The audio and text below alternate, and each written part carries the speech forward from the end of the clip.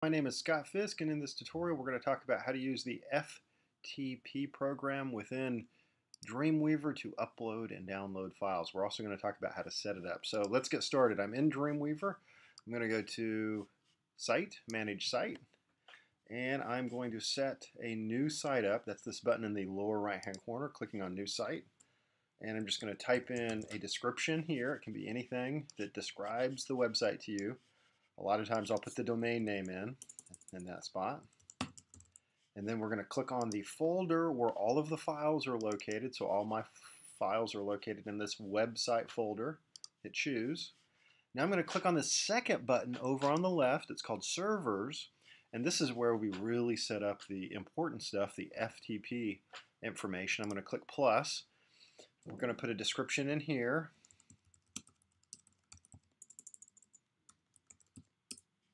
We're going to put the website address in next. Sometimes the FTP address is something similar to ftp.thedomainname.com. Mine just happens to be different than that. Next, you're going to put in the username. And then lastly, we're going to put in the password. And Dreamweaver has this wonderful testing capability, which really comes in handy. Click this button and it'll let you know whether or not it works. Mine worked well. If this ever doesn't work, it's usually that your password's incorrect or your username. Uh, so just if you ever have problems getting this process to work, log in to your hosting account and just make sure that these three key pieces of information are correct, or you can just call your hosting company and ask them. If you're absolutely sure that you've put all this stuff in correctly, and you happen to be working at a, at a larger business that might have a big firewall, you can click on this button and sometimes that will make it work. So at this point we're done. We're going to hit save. Save. It's uh, just scanning all of my files that are in that website folder at this point. And the next thing we're going to do is uh, just exit out of this setup process and load up the FTP program where we can upload and download files.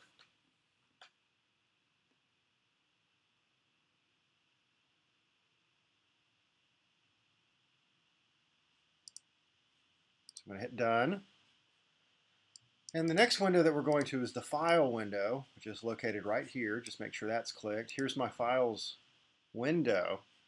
This little button on the far right says expand to show local and remote sites. So we want to click on that and that allows us to see all of our local files on our computer on this side and all of the remote files over on this side. And it says to see the remote files, click this button, which is this button right here.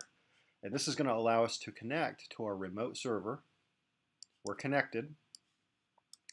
So this is all my files on my, my local computer, and this is all the stuff on the remote side. I'm going to click on domains, and I have lots of different websites listed here.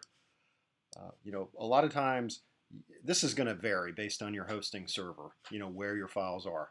A lot of times you'll click on one of these things and it's going to have like an HTML folder. Usually when you go into a, an HTML folder, it's going to have different files in it, such as uh, your homepage files, images, and so on. If I wanted to upload something to this particular folder, all I would have to do is click on the image or the file and drag it across. And that file is now there. If I wanted to download this file back to the computer, I could drag it across the other direction. And it comes back. We can also create new folders, which is really handy. I could click on this folder, control click, and just say new folder. And really that's it. Thank you very much.